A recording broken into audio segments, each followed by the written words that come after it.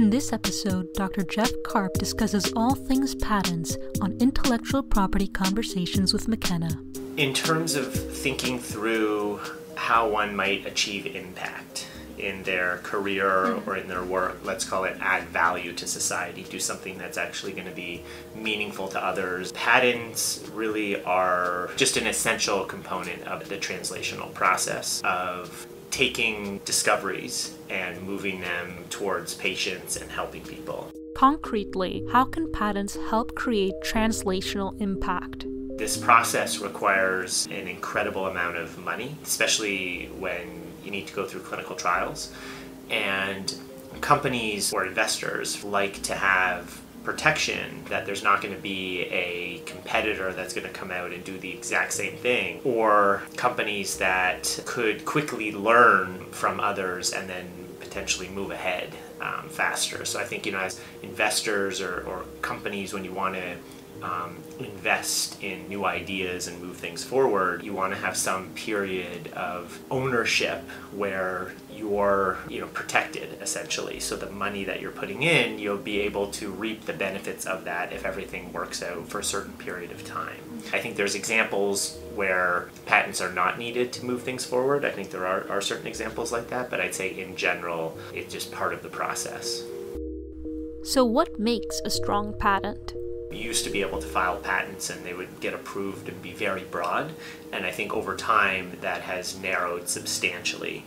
And so you want to be in a position where you're covering your kind of core technology and ideally you're trying to you know get that through the patent office so you can be as broad as possible. But often the strongest part of a patent is in defining the conditions where it works the best and conditions where it doesn't work. So I almost think of kind of like a, a, curve that might look like this, where it's like, let's say you're looking at a single variable and you're modifying that variable and you're sort of seeing like, okay, it doesn't work so well here, it doesn't work, it's starting to work, you know, and you're sort of increasing, let's say, the concentration of something. It could, could be anything. And then it starts to work and then all of a sudden it's working incredibly well. And then you keep increasing the concentration and, and then it starts not to work eh, as well and then eventually it doesn't work at all. So that specific range of where it worked best was not obvious or you couldn't have predicted them from the beginning. A critical component of a patent is that it can't be obvious to someone who has expertise, let's say, in the field. How does the patent application process influence your approach to research? It's interesting how learning about patents has impacted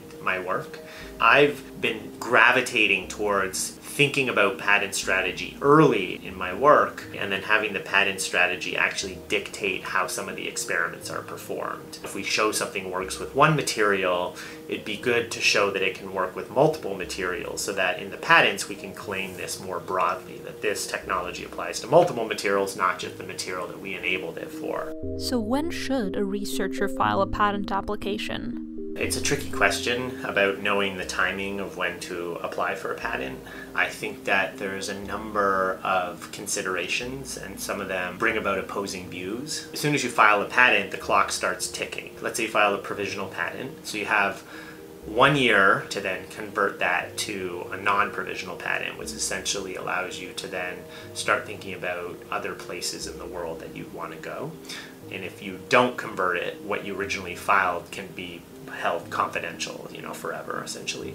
Then if you convert that, you have another six months before that will then become public online. So there's an 18 month window from when you first filed to, to when it goes. From the time you file that original patent, there's somewhere on the order of about was it like 30 months or so or 32 months before you go to national phase where you actually have to choose which countries you want to file in. And that's when things start to get very expensive um, and it can be thousands or tens of thousands of dollars in each country depending on like how many claims you have and things like that and translation fees. And then the patent life is you know on the order of like 20 years or so and it can take 10 years before something is sold as a product or even longer. You have to kind of consider that once a company you know starts selling a product how many years of exclusivity do they essentially have? There's all sorts of like financial sort of considerations for the investment it would take to bring something to market and then how much money essentially the companies can make to then recoup that investment and then make what they had hoped you know as upside in addition to cover covering all of their costs. If you file too early, then that window that you have to block others becomes narrower and it's harder to make the financials work. But if you're working in a really hot area, chances are others are kind of thinking similar things that you're thinking, and so you want to get that in as quickly as possible. Right now, it's first to file. It used to be first to invent in the United States.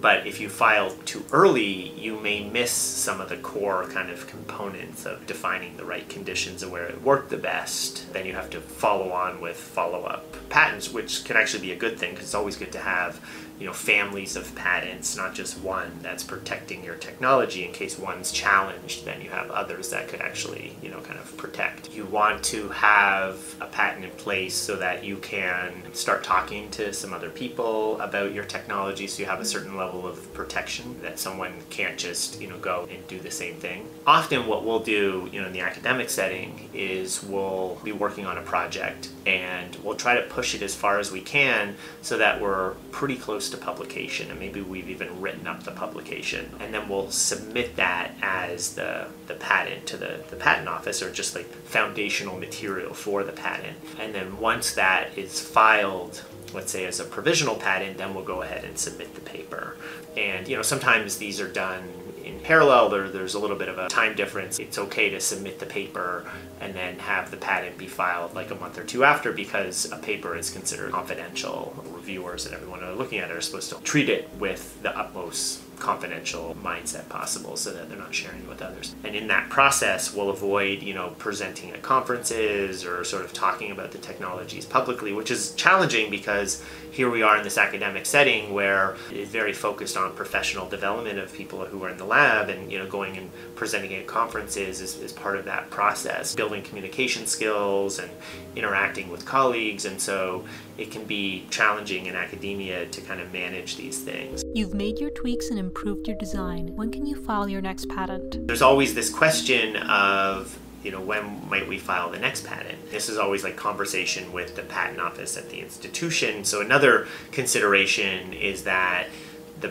patent office at, at, institutions have particular budgets and they get more submissions of invention disclosures than they can potentially file on. And so they have to make decisions about what to file on and what not to file on. There's, you know, some complexities associated with that and various consideration, you know, in terms of it's like a hot area, whether there's great potential for that technology to be licensed, maybe if that investigator has a lot of kind of external relationships that increase the probability of that being licensed. So that's part of the consideration of the initial filing and then also subsequent filings. Often, if there's a potential for a subsequent filing, then they're going to look at is this enough of a departure from what you've done? Is this, you know, really going to add significant value in addition to the initial patent that is critical for products that will come out of that. As we continue to advance technologies in the lab, you know, we're constantly thinking of new applications and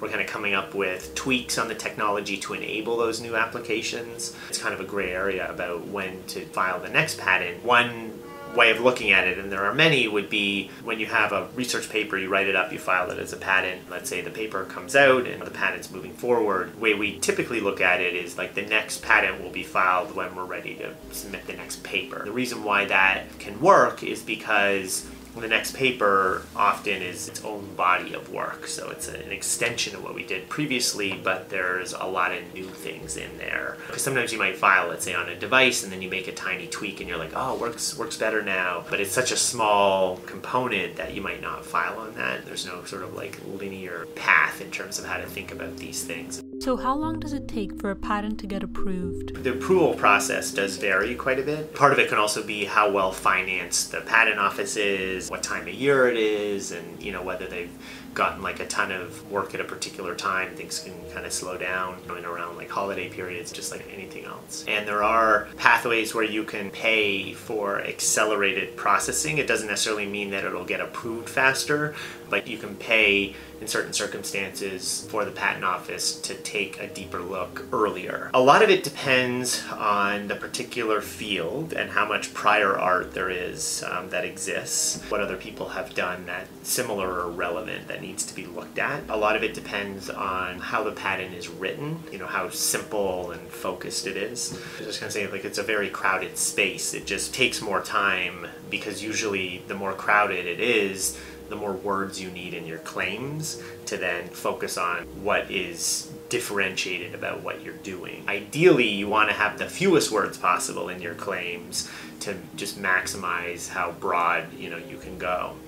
And so a lot of the process, I think, involves this give and take interaction between, let's say, the company that has the IP and the, the patent office. That sort of conversation, let's call it, can take a long time as there's like this negotiation, this kind of dance that's happening going back and forth, where the company really wants to protect the products, you know, at least at the core, but they want to get as broad sort of applicability as possible to cover not just what they plan to bring to market, let's say in the coming years, but to block everything that could be related to that. Whereas the patent office is looking at it from a slightly different angle which is what have you you know enabled in your examples and in your experiments and what's really the core of your intellectual property that is you know differentiated from what others have done and, and, that's protectable. And that tends to be more of like a narrow view.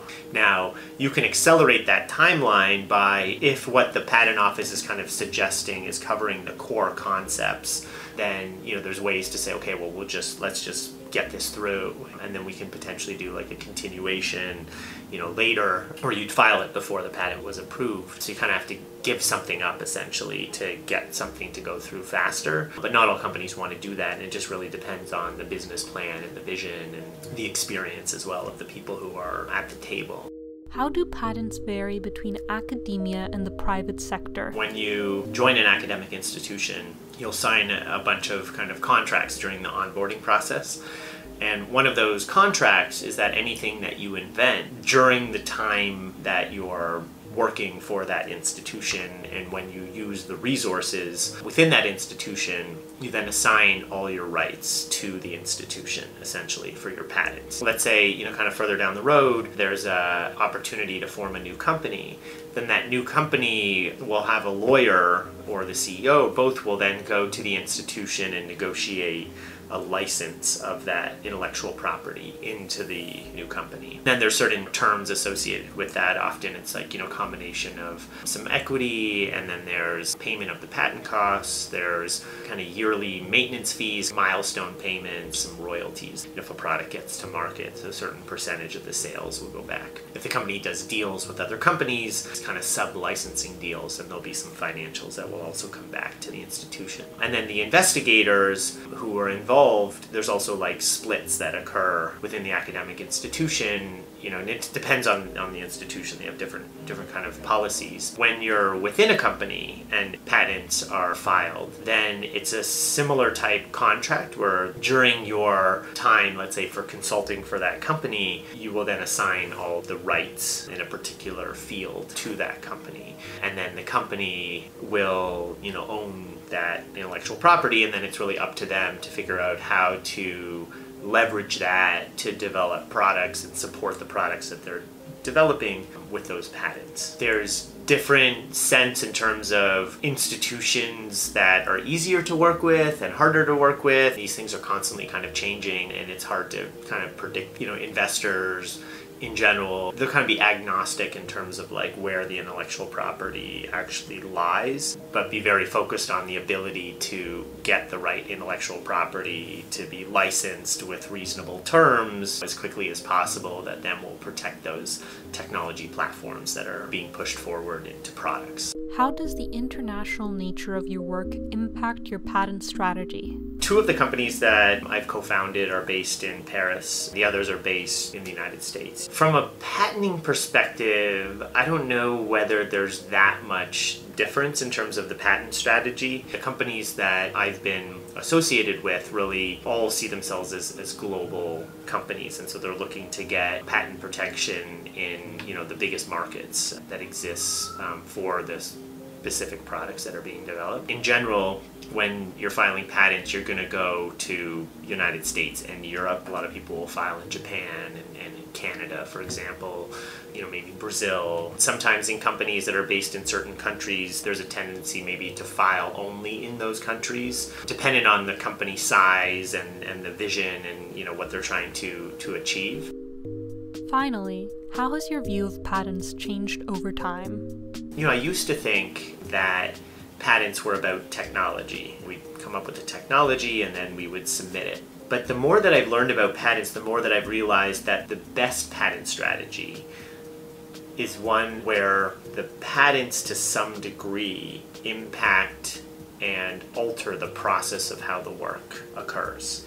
In general, you know, the strongest patents are the ones where not only you're describing the technology, but the conditions where it works the best. By knowing that, by knowing that that's where the strongest component of the patent is, when you're conducting your experiments, you, you want to be able to define those ranges of where things work and where things don't work. And that can actually be very informative to the academic community as well when people are trying to learn from what you've done. So it's not like you've just created a technology and shown you've achieved, let's say, a result that no one's achieved before. You've actually looked in depth at individual variables and, and looked at, let's say, more of the parameter space. So you've taken these individual variables and you haven't just looked at like one or two concentrations, you've looked at 10 and and so that can help others to really determine in their experiments you know which concentrations to try. And then from a patent perspective that can help because you can identify these non-obvious regimes of where things work the best. By being more thorough